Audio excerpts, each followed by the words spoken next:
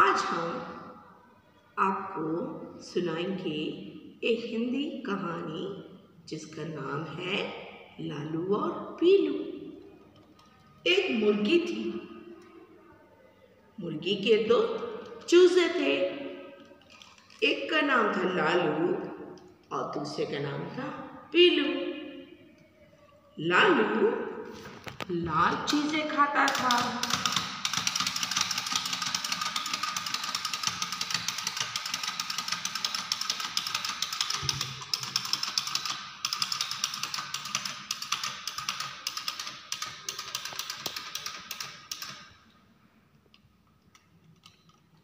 और पीलू पीली चीज़ें खाता था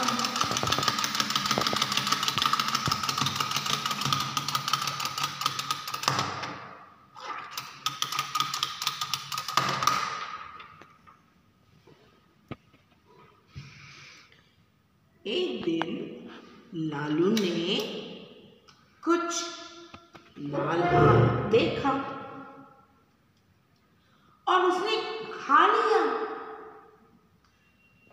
अरे, यह क्या? ये तो मिर्ची थी। बच्चों,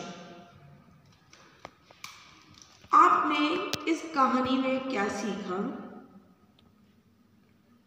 कि बिना सोचे समझे कुछ भी मुँह में नहीं डालना चाहिए।